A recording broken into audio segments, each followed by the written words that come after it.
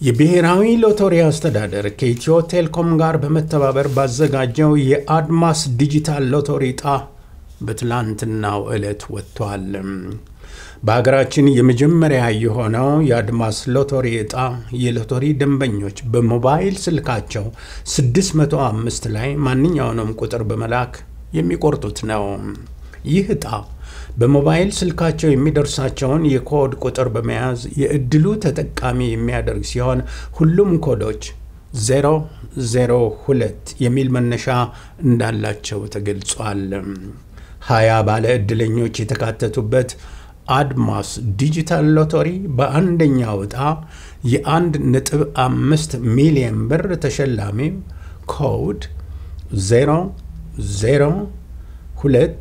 0 2 0 3 1 6 9 9 5 1 አራት ሲሆን ከጌዲዮ ዞን ወናጎ አካባቢ ተማሪና የ28 ዓመት ወጣት እንደሆነ ታውቋል። የሁለተኛ ዕጣ የ800 ሺህ ብር አሸናፊው ኮድ 0 0 2 2 9 4 9 9 0 0 6 3 ሲሆን ስልካቸውን ባለማንሳታቸው ከየት እንደሆነ ለማወቅ አልተቻለም።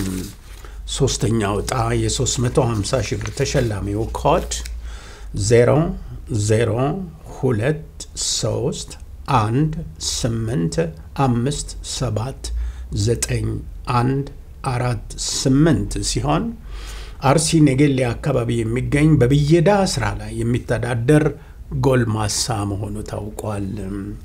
የዕጣ ወጣጡ ስነ ስርዓት በብሔራዊ ሎተሪ አዳራሽ የተካሄደ ሲሆን ዕጣውን የቆረጡ ደንበኞች በተገኙበት ተከናውነዋል።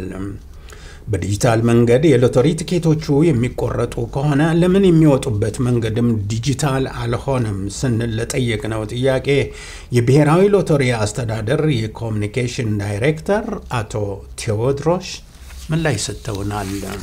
ዞሮ ዞሮ ዋናው ነገር ምንድን ነው? እድለኛው በማሽን ነው የወጣለት እጣው ማለት ነው። ከማሽን ነው ቀላል ነው። እኛ በኮምፒውተር ማውጣት እንችላለን። በኮምፒውተር ስናወጣ በአምስት ደቂቃ ይህን ሁሉ መጨረስ እንችላለን። ግን አሁን እንደታየው አንድ ሰዓት ተኩል ፈጅቷል። ስለዚህ አንድ ሰዓት ተኩል ፈጅተን የብሔራዊ ሎተሪ አስተዳደር ለረጅም ዓመታት የቆየበትን የእምነት ጉዳይ አሁንም ማስጠበቅ ስላለብን ለዚህ ነው ይህን ያደረግ ነው።